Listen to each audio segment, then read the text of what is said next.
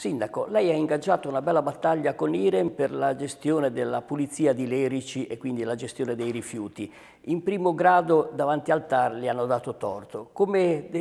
pensa di poter proseguire?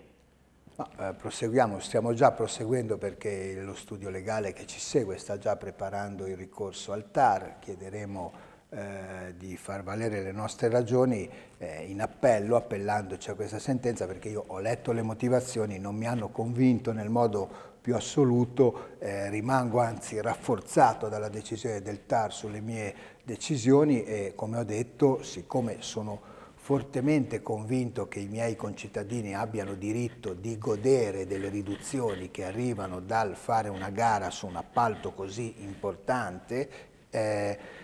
io andrò avanti, cioè rassicuro i cittadini di Lerici che l'amministrazione su questo tema non molla. Spesa pubblica da ridurre, ridurre le tasse e garantire quindi che ognuno non paghi un euro in più di quello che è dovuto per svolgere quel determinato servizio. Oggi paghiamo quantomeno 600 mila euro in più all'anno di quello che a mio modo di vedere, ma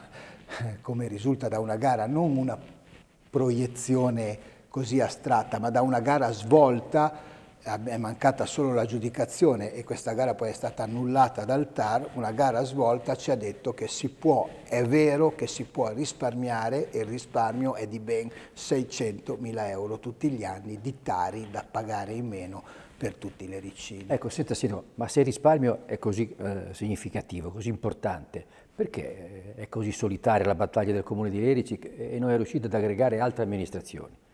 Ma io questo non lo so, ecco, io so solo che la mia gara, la mia, la mia battaglia, che non è una guerra, è una battaglia politica, è una battaglia che si basa sul fatto che io prima di tutto sono tenuto per legge a fare la gara, perché non avendo un rapporto di socio in-house con IREN, cioè l'in-house significa che io posso affidare a una società un appalto senza fare gara, perché su questa società ho un controllo per il quale decido io cosa deve fare nella sua vita quella società, almeno per l'80% della sua attività, eh, se non c'è questa situazione è cosa che non c'è perché io con Iren non ho alcun rapporto, sono terzo rispetto ad Iren, non sono socio e quindi non vedo come possa essere in house, se non sono in house sono tenuto a fare le gare. Bene, l'intervista completa al sindaco di Lerici Leonardo Paoletti questa sera alle 21.30.